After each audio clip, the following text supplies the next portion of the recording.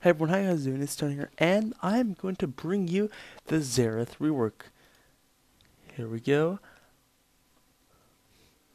I will give you all his abilities, all the details, and all the AP ratios. So what are we waiting for? Let's go.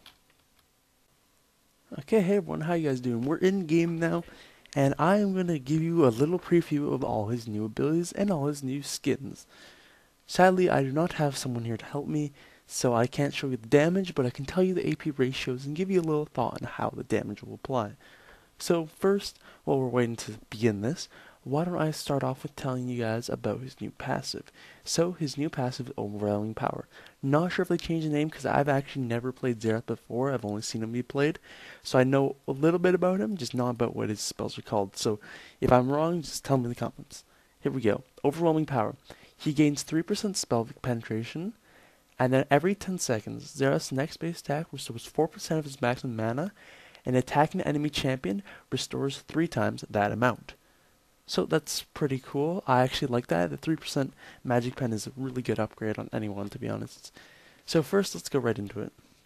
He's Q, Arcano Pulse. And um, it's sort of the same, but sort of different at the same time. So Xerath charges and then fires a beam of energy, dealing 78 plus 13 magic damage to all enemies hit. Charging the spell increases range. So what I mean is by this, if you don't charge a spell, the spell goes like this. However, if you do charge a spell, which I'll show you right here in a second, you can increase its range. So it's a bit of a nerf from the other one since it does take longer to charge, and you can only hold it for a certain amount of time. Leveling up this ability will increase the damage, decrease the cooldown, and increase the mana cost. There you go, and that's a full range one right there. His next ability, his new W, is Cosmic Strike. This costs 100 mana. Xerath calls down a blast of arcane energy, dealing 50 plus 9 magic damage to all enemies within the target area, slowing them by 10% for 3 seconds. However, enemies right dead in the center of the blast take 60% extra damage and they're slowed by 35% instead. So here we go, let me show you that. And that's pretty much it. If you get hit by a little beam, going to take extra damage. Leveling this up will give you more damage, the cooldown will be reduced, the slow amount will actually stay the same, and the mana cost, of course, will be increased.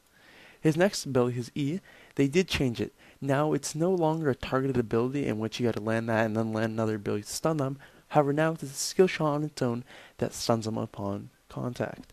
So let's read it.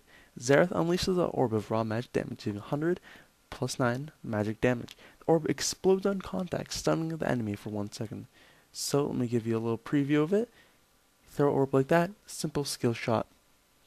I'll be back in about a second.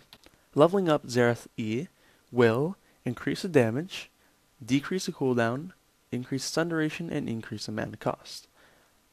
Now finally his ult, Ascension. Xerath ascends to his true form, briefly gaining arcane vision of a large area around himself. He becomes rooted in place, and his basic abilities are disabled. But he gains four shots of very long distance magic artillery. Fire these shots off with either the left or right mouse button. This effect lasts up to 7 seconds or until it's deactivated. When Ascension is active, Xerath takes 10% less damage and he cannot be moved by displacement effects. However, they can briefly stun him. And now let's see what this bomb does. So Xerath bombards the target area with explosive energy, dealing 150 plus 7 magic damage all enemies hit. So let me give you an example. I'll give you true vision of this huge circle around you, and you can left click to fire wherever you want.